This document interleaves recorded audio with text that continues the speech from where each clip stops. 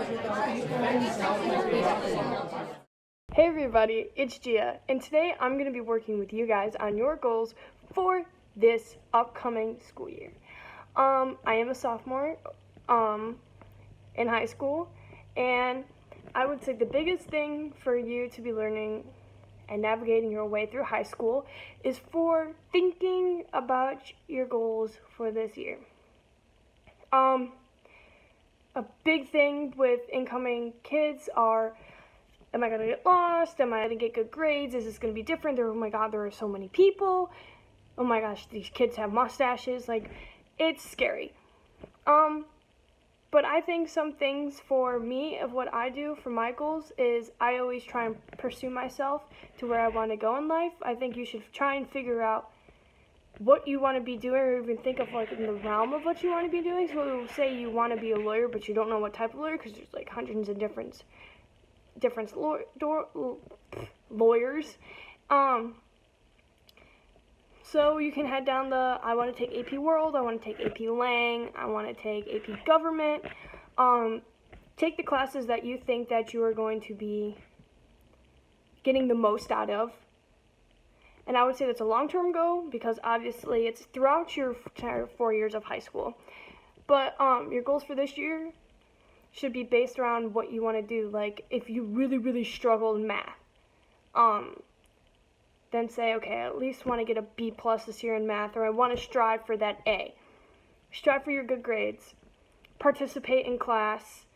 Um, do your homework, which I know a lot of kids don't like doing. Um, push yourself to be the best that you can be. Um, when I I also play a varsity sport, so I have to incorporate my time with my AP classes my AP class I'm in, my honors classes, and obviously can't forget about my other classes. You don't do that, please. Um, I have to find time to make sure that I have time for everything and to make sure I can strive to be the best that I can be at everything. I mean, I play number one singles for tennis, so that's big over at my school. Um, I have to find time to train. I have five days a week. I don't get home till sometimes six o'clock, six thirty, almost seven. Um, and the thing that I do is that I make sure that I take a study hall. And you'll hear teachers say, study hall is not important, you don't need a study hall.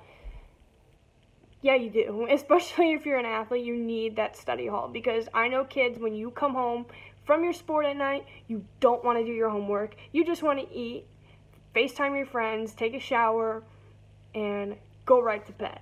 Because that's exactly how I am and I know I'm not the only kid out there that hates doing that stuff. Um,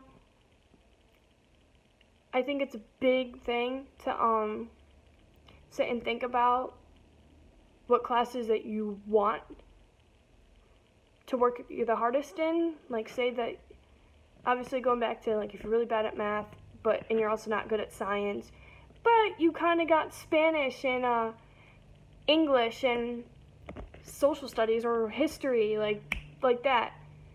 Don't forget about them, but put more, a little more time into that um, subject that you're struggling in, or go to labs, ask your teacher. I mean, do everything you can so you can reach your goal. And make sure the biggest thing I like to think about with my goals is strive for realistic goals.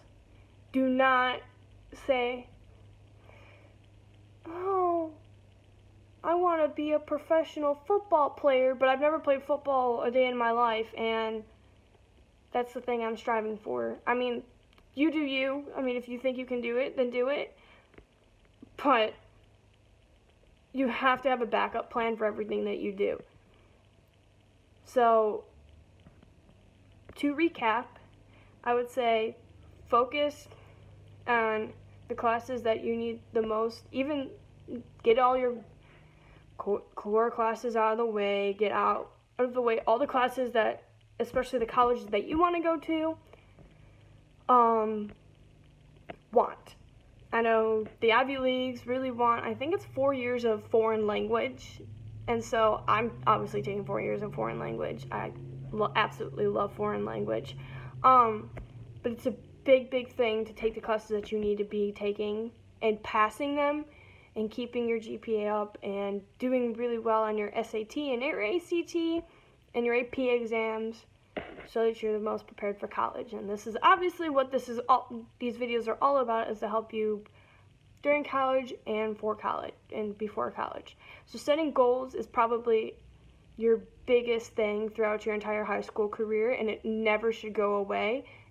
So, I really hope this video helped and I hope you all have an amazing day and good luck.